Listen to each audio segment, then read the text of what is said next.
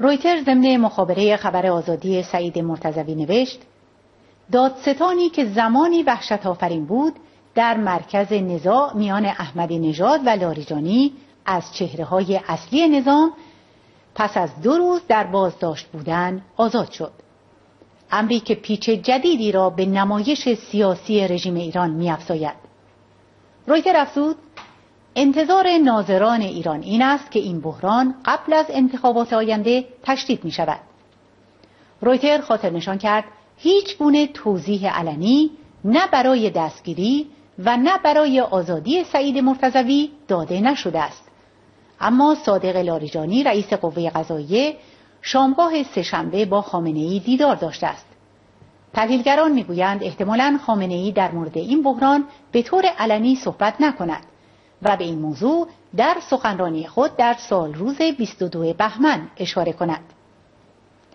در همین حال علا رقم تلاش های باند خامنه ای برای برکناری رئیس سازمان تأمین اجتماعی خبرگزاری سپاه پاسداران به نقل از سرپرست وزارت کار کابینه احمدی نژاد نوشت مرتضوی از صبح امروز در محل کار خود حاضر شده و مشغول انجام وظیفه است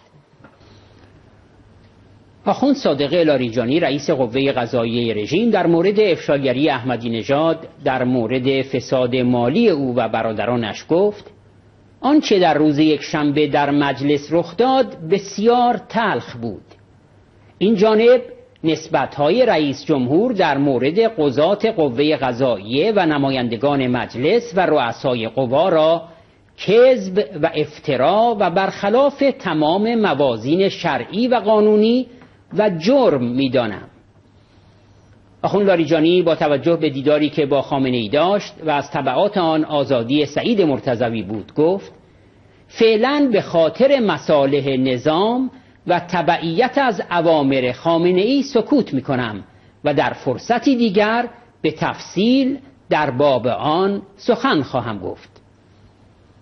آخوند لاریجانی نیز مانند برادرش پاسدار علی لاریجانی احمدی نژاد را تهدید به مقابله به مثل و افشاگری کرد و گفت ماهیت جریانهای انحراف و فتنه و فساد اقتصادی و عقیدتی و عملی آنان را فاش خواهد کرد. آخرین خبر این ساعت.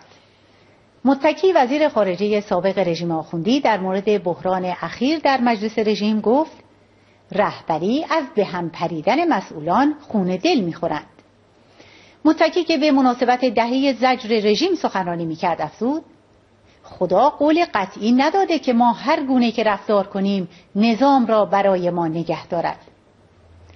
وزیر خارجه سابق رژیم به ازل خودش از سمت وزیر خارجه اشاره کرد و گفت نظام ما اینگونه نبود که ادعی را بیرون کنید و به قدرت بچسبید. پای این نظام آبرو گذاشته شده است.